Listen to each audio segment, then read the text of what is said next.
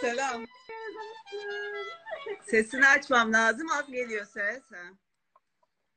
Evet, selam. Ben sizi görebiliyorum ama niye duyamıyorum? Şu anda beni. Ha, şimdi duyuyorum gibi. Ha, geldi. Evet, o da tamam. Tamam. Merhabalar, nasılsınız? Teşekkür ederim. Siz ne yapıyorsunuz? Bayağı güzel sohbet ettiniz. Niye kahve falan içmiyorsunuz? Niye ikram yok? Değil mi? Hemen kolonyam vardı şurada. Şöyle bir kolonya verin. Okey, sağlığını da. Ay inanılmaz güzel görünüyorsunuz bu arada Emek Hanım. Onu Evet, kaç gündür hemen. ilk defa biraz makyaj yaptım sizin için. Çok teşekkürler. Bu da benim işte cesaret challenge'ım oldu. Derlerse ki ne kadar özgüvenim var, Emek Külür'le aynı kadraja girmeye cesaret edebilecek kadar diyeceğim. Aa, aa, yapmayın ne olur. Emek Hanım nasıl gidiyor karantina süreciniz? Açıkçası yani ben karantinaya biraz geç girdim gibi. Yani sokağa tabii ki çıkmadık ama her gün kliniğe gitmek zorunda kaldım. Çünkü e, hastaların yarım işleri vardı ve bence bu olay bu hafta pik yapacaktı. Benim kafamda planladığım oydu. Geçen hafta ortasına doğru ben bütün hastalarımı bitirmek için elimden geleni yaptım. E, zaten şöyle bir şey, normal hastaların hepsini iptal ettik. Sadece geçiciyle kalan hastalar ve ağrılı hastalar günde ikişer tane olmak üzere her gün o iki hastayı bitirerek gün şeyi, programı tamamladık ve e, ondan sonra ben karantinaya girdim. Evimdeyim.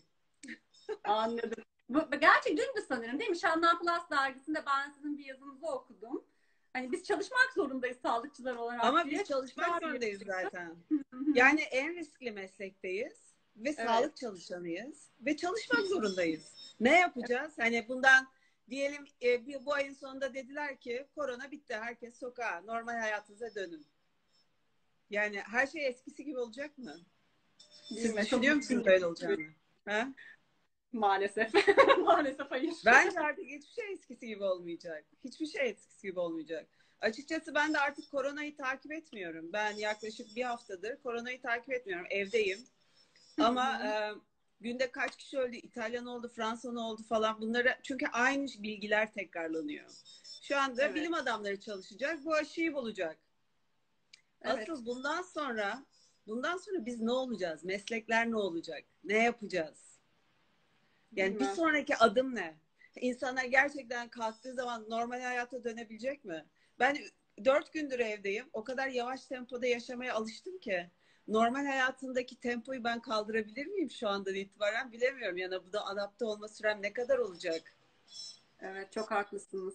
Ya, Ya psikolojik o kadar slow motion'a girmedik mi? Bak yavaş düşünüyoruz. yavaş hareket ediyoruz.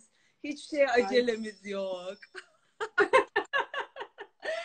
Yani aslında bir taraftan da değil mi? Böyle bir süreç yaşamak için fırsat oldu ama keşke daha güzel bir şey vesile olsaydı. Bunları Yani sorgulamamız. a- her her şeyin bir nedeni var ve her şeyi de pozitife çevirmek ya da avantaja çevirmek bizim elimizde. Ben şimdi açıkçası neler yapıyorum? E, uzun zamandır okumak istediğim her şeyi okuyorum böyle. Nasıl biliyor musun? Hani şekercilik yanına düş- düşmüş çocuk gibi. YouTube'a giriyorum ona bakıyorum oradan çıkıyorum buna bakıyorum oradan onu açıyorum buradan bunu bir yapıyorum. Kahvemi içiyorum oturuyorum düşünüyorum sanki yeni bir şey keşfedeceğim. Ondan böyle ona karşı düşün sokağa çıkamazsın. Arkadaşına vakit geçiremezsin. Sosyal hayatın yok. Giyinip süslenmek zorunda değilsin. Dolayısıyla bitti. Evindesin. Zaten yeme vakti ne ki? Yiyorsun. Sabah da ben evimi topluyorum. Bir saat ancak sürüyor. Bitti. Geri kalan zaman benim. Hem de gece istediğim kadar, gündüz istediğim kadar. Müthiş bir lüks bu. Aynen. Sizin ama zaten çok hobileriniz vardı değil mi? Yani çok böyle kendinize de aslında vakit ayıran, kendi hobilerinizi keşfetmiş, zevk aldığınız alanları keşfetmiş Valla ben zaman zamanı o kadar böyle şey kullanıyorum ki uçuca kullanıyorum ki ben her dakikasına sanki bir şey yapmam gerekmiş gibi öyle bir karakterim var. Ee, e, yani zamanı ben hiç boşa harcamıyorum inan bana sürekli bir şeyle uğraşıyorum sürekli.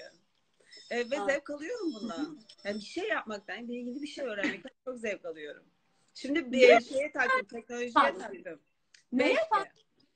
5G. 5G. 5G. 4G'den 5G'ye geçeceğiz. ne olacağız? Ne bekliyor bizi? Bu kesin geçecek. Doğru. Ondan sonra nedir? Yapay zekaya hayatımıza ne zaman sokmaya çalışıyorlar? Yani ne oluyor? Gerçekten ne olacak? Doğru değil mi? Yani Evet, ben çok- sanmıyorum o eski doktor önlüğüyle artık hasta bakacağımızı bile düşünmüyorum.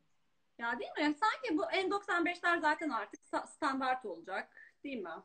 N95'siz yaşanmayacak bence. Mi? Allah Allah dışında. oturumları daha böyle estetik şekilde nasıl yaparım diye düşünüyorum. Çünkü kesin onlardan giyeceğiz. Ama sadece bir yaşam olacak herhalde. Evet ya vallahi bakalım yani yepyeni bir çağa gireceğiz gibi görünüyor çıktıktan sonra ama hep beraber yaşayıp göreceğiz sanki. Yenilikte şey vardır. Yenilikte ne derler? Ee, hayır mı vardır? Bir şeydir. Öyle bir atasözü var mı? Atıyor muyum? Her yenilik böyle. Google'layın bakayım. Google amcaya soralım. Ama öyle bir şey vardı. Ayşen benim de aklıma gelmedi ama yazan arkadaş olursa hemen paylaşacağım sizinle. Evet Hanım ya siz bir ara heykel yapıyordunuz. Yanlış hatırlamıyorum değil mi? Heykel. Yo. Evet evet. Devam ediyor musunuz ona? Her şeyde bir hayır vardır mı diye sormuş arkadaşım. Her şerde bir hayır vardır. Her şerde bir- evet o. Evet, o. Teşekkür ederiz. Her şeyde böyle bilge, bilge işte ya. Adamın bilge. Helal olsun. İşte canlı yayının. Ha, Sema da diyor ki olanda hayır vardır. Doğru olanda da hayır vardır. Semacığım süpersin.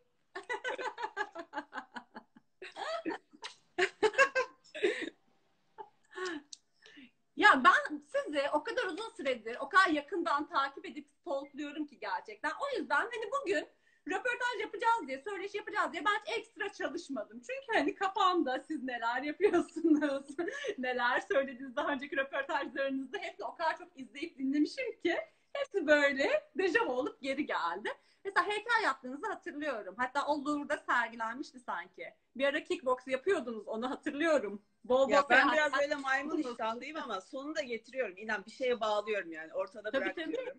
Ya o heykel Louvre'da sergilenmişti değil mi? Ben yanlış Evet hatırlamıyorum. biliyor musun? Yaptığım ikinci heykel Lourdes'e sergilendi. Yani inanılmaz ya. Yetenekliyim yapacak bir şey. Devam ediyor musunuz peki heykele? Heykele devam ediyorum. Ee, şimdi benim böyle, böyle bir huzursuz tarafım var. O heykele ben başladım. Çamurdan ilk önce yaptık. Sonra bronz yaptık.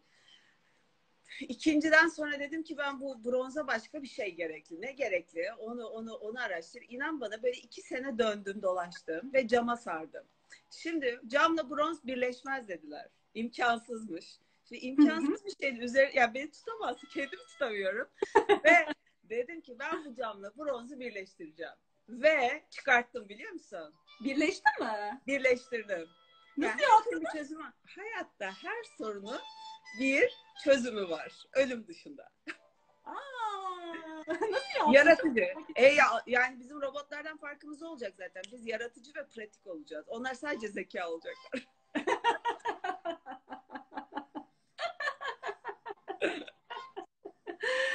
İlkin, hey! İlkin, love you. Ve ar- burada yazılanları görüyorum da arkadaşlarımı görünce şey yapıyorum. Evet evet yani insan şey yapmak istemiyor her gene ay hoş geldin nasılsın değil mi? Sohbet etmek istiyor her gelenle. Bu arada iltifatları da okuyorsunuz Ayla. halde değil mi? Evet, İltifatları da görüyor musun? alıyorum. Yaşasın. Şimdi Emek Hanım bir şeyden başlayalım mı? Siz de Ege mezunusunuz değil mi? Evet. Ben. Ee, ben de Ege mezunuyum bu arada da. Ee, o yüzden çok da böyle mutluluk duyuyorum. Sizin bu İzmir'den İstanbul'a gelme hikayeniz nedir? Nasıl karar verdiniz İstanbul'a gelmeye? Yani açıkçası direkt İstanbul'a gelmedim. Benim hayalim New York'ta yaşamaktı. Hı hı. O arada bir Amerika var zaten değil mi? Yani İzmir'den Amerika, Amerika'dan İstanbul oldu. Yani İzmir'den İstanbul olmadı. Anladım. Ee, peki Amerika'dan nasıl yani ne vesile diyelim ne, şekilde geldi? Amerika'dan sonra niye İstanbul mu oldu? Evet. Hı hı. Şimdi Amerika'dan ben döndüğümde o zaman tabii genciz. Ay, hala çok. Demek Hanım vallahi. Enerji çok. Hala cebinizden çıkarırsınız. Bilge'nin dişi ağrıyormuş ya. Pardon. Nesrin Ara konuşalım. Şey e, bir şey söyleyeceğim. E, ne oldu? Ha Amerika'dan döndüğümde ben Amerika'da böyle iki sene bir askerlik eğitimi yaptım. 7-24. Ee, şöyle bir şey. New York Üniversitesi ile Brookdale'in verdiği Implant Master programına katıldım. Hı hı. Bu iki program olunca Norman Crane'in bir başkandı. O Brookdale'de cerrahi bölüm başkanıydı. Ve onun sayesinde daha doğrusu onun yani ben istediğim için ve zorladığım için Brookdale'de staj yaptım cerrahide. Bu arada işte hem de çalışmam biraz da para kazanmam lazım ve yapabileceğim maksimumu yapmak istiyorum. Öyle bir arsızlık var bende kafayı bir şey taktığım zaman. Ve Norman Crane'in implant kursu başkanıydı. Ee, ve onun ofisinde ben para kazanarak çalıştım. Asistan olarak çalıştım. Ve Aa. orada dört tane NYU'dan hoca vardı. İkisi protez uzmanı. Bir tanesi Perio ve Deniz Tornov implant kursu başkanıydı. Ve onlarla sabah yedi buçukta hasta alınmayla başlayan, akşam altı buçuk yediye kadar süren ve sadece scraplarla yaşadığım bir iki yıl yaşadım. Aa.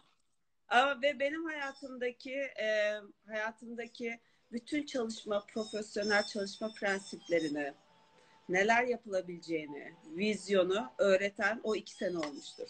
Bir de şeyde Osman Şahinoğlu'nu da atlamayayım çünkü İzmir'deyken e, Osman Şahinoğlu ortodontisttir. Onun yanında çalıştım iki yıl. Ve orada da ortodonti ile ilgili çok fikrim oldu. Ben hatta bir buçuk yıl çalıştım. Öğrenciyken de başlamıştım. Ee, yani o onların vizyonu tanıt yani hayatıma giren ilk diş hekimlerinin, profesyonel diş hekimlerinin vizyonu sayesinde ben aslında hepsinden böyle böyle böyle böyle böyle topladım. Dolayısıyla İstanbul'a ya İzmir yani New York'tan döndüğüm zaman Türkiye'ye bilgi dağılım gerçekten çok iyiydi. Yani bayağı iyiydi. Ee, burada da implantlar tek tek yapılıyordu. Biz 8 implanta birden girmişiz. Bir yıl, iki buçuk yıl boyunca şakır şakır şakır şakır görmüşüm. Sinüs liftingler yapılıyor, öbür odaya geçiyor. Yapılıyor, öbür, odaya geçiliyor. Ya da laboratuvar kliniğin içinde. O icraatını görüyorum, onu görüyorum, bunu görüyorum. Ee, buraya geldiğimde evet gerçekten daha tek tek implant yapılıyordu. Ee, Evet. Ve öyle çok fazla hastane yoktu. Amerikan hastanesi vardı. Bir de Yeşilköy'deki hastanenin adı neydi?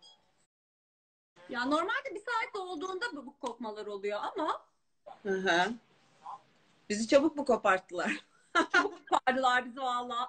Göze geldik nazar değdi.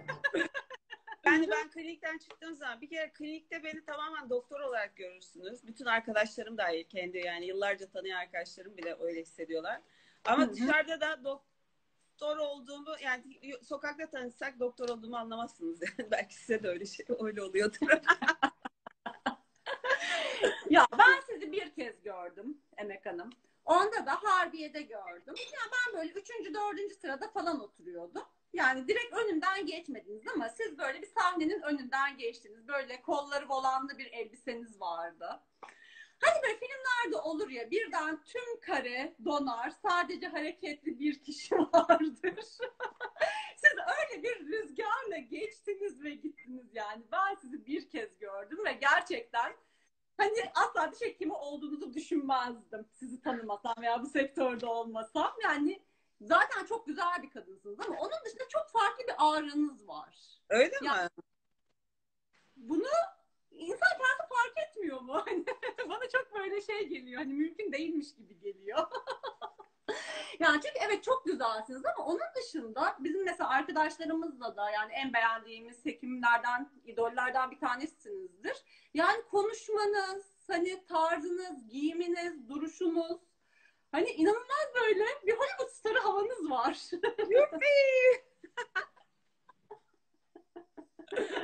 Ender olurmuşum.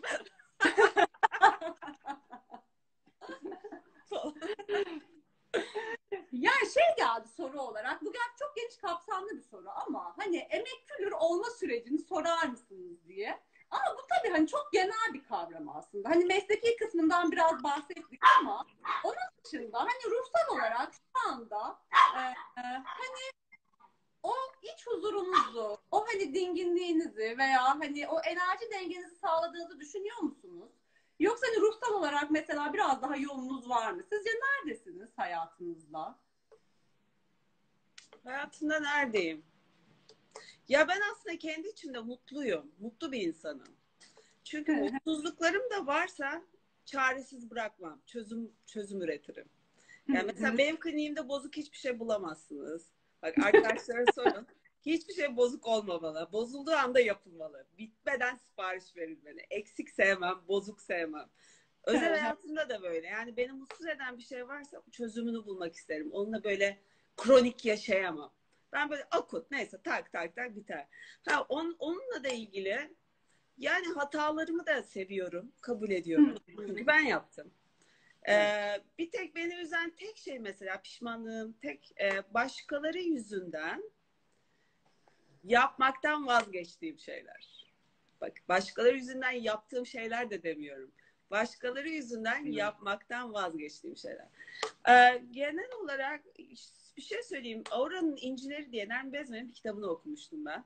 Ve o zaman bu kadın bir hayatı içinde 4-5 hayat yaşamış. Birçok hayat deneyimleri edinmiş.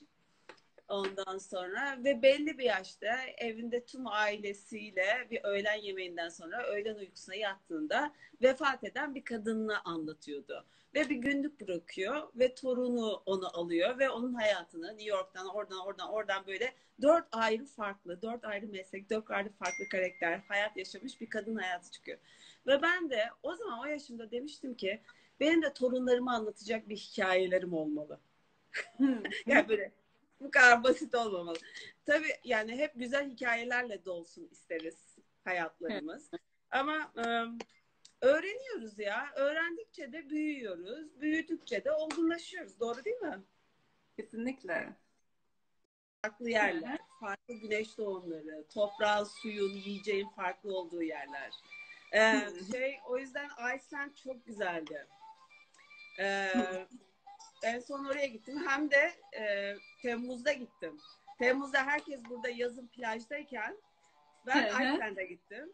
E, ve soğuktu. Ve buzulların içindeydim. Yani Temmuz evet. dön burada bir az sonra bikiniyle gezeceksin ama orada kardasın falan. Çok keyifliydi. Ya da soğuk. Evet. Ee. O tür böyle zıt şeyler yapmayı seviyorum. Evet. Mesela şimdi hayalindeki inşallah bu korona biter de şeye gitmek istiyorum. Afrika'ya, Güney, e, Güney Afrika'ya. Aa süper. Orada Sydney'de şeye dalacağım. E, beyaz köpek balıklarıyla kafes dalışı yapmak istiyorum. İstediklerimden biri o. Vay süper. Araştırdım. bütün notlarım var.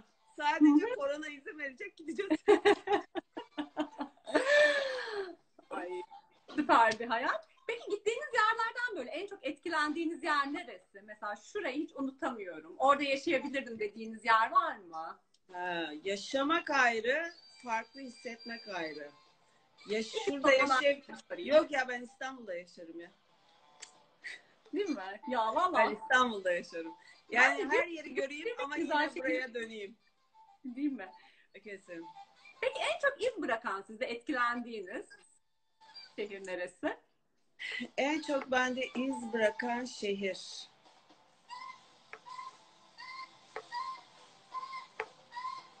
Şehir şehir ya. Ama en farklı yer gerçekten Iceland'di yani. Ya o tatiliniz çok güzel. Güzeller, evet. Ya ben de telefon elimde diyordum ki ay Emek Hanım keşke bir şeyler paylaşsa falan. İnanılmaz keyifliydi. Bu arada burcunuz çok soruluyor. Hemen ben sorulara da bir göz atayım. Ha Başak Burcu'yum ben. Başak. Evet. Başak Burcu yükseğim de ya Başak ya Aslan bilemiyorum o işi. Taşır mısınız özelliklerini Başak'ın? Başak'ın özelliklerini ya sen Başak'ın özelliklerini taşıyor muyum? Maalesef dedi kızım. Maalesef taşıyormuşum kızım. Ama şunu söyleyeyim. işte daha çok başağım. Evde o kadar başak değilim. Öyle Bence. mi? Evet. Ama hiçbir randevuma geç kalamıyorum mesela. Yani böyle hasta arasında koşturuyorum koşturuyorum. Mesela bir öğlen arkadaşlarla buluşacağız. 10, 10, 15, 10 kişi falan. İlk ben gidiyorum. İşim her şeyi yetiştiriyorum. O kantor içinde gidiyorum. Yine de saatinde ben oradayım. Ötekiler geç kalıyorlar. Herhalde başak olduğum için. ya evet. Peki e, kızın nasıl böyle e, diş hekimi olmasını ister misiniz? Veya benziyor Zaten musunuz? diş hekimi oluyor. Zaten Oluyor diş hekimliğinde okuyor evet. Süper. Ben en son şeyde kalmışım pardon. Sınava hazırlandığı zamanda kalmışım.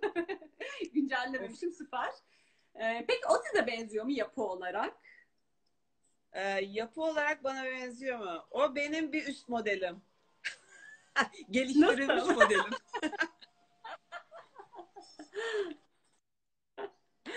yani e, bence bendeki güzel yanları almış, kötüleri bırakmış. Bir de onları mutasyona uğratıp evrimleştirip daha iyi bir şey yapmış durumda. Ben öyle görüyorum. Çünkü benden daha olgun birçok durumda. İnanılmaz sakin.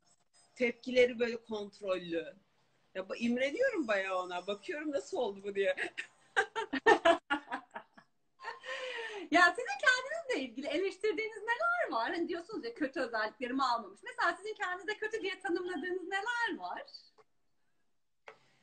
Kendimde beğenmediğim ne olabilir? Yok demiş.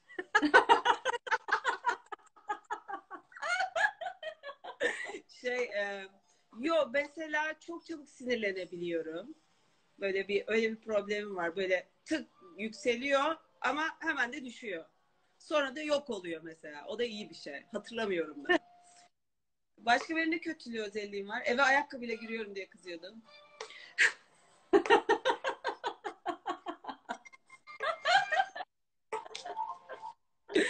Bir de şey böyle endişeli bir tipim ben aslında altyapıda bence. Mesela hala da kaç yıl olmuş bir full bitimde falan filan şeffafı iyi oldu mu acaba? Az daha onu mu koysaydık? Sabah erken gideyim de düzelteyim falan. Hala böyle bitene kadar o şeyle uğraşıyorum. Yani aman olduğu kadar diyemiyorum ya. Aman olduğu kadar yapabilmem. O kadar demek lazım birazcık. Ama çok detaycısınız değil mi? Ben o porselen Evet, evet çok detay. Evet bunu arıyordum Sıla buldum. Detaycıyım. Gereksiz. Çünkü ben storylerinize bakıyorum. Mesela vaka takip ediyorum sizden. Siz mesela gidip bir kez daha makyaj, işte şurayı biraz daha düzelteceğim, bir kez daha polis Ben alacağım. Yani sürekli içimden ne söylüyorum biliyor musun bitimdeyken? Hiçbir tablo bıra- bitmez. Sadece bırakılır. Artık bırak emek. Emek artık bırak. Nesrin Hanım diyor ki Emek abi yeter dokunmayın. Lütfen dokunmayın. Elimden alıyorlar işi. Azıcık daha yüzey modelsini falan derken. ya geri dönelim de işimize. Yapalım tekrar. Anı olarak kalmasın bunlar.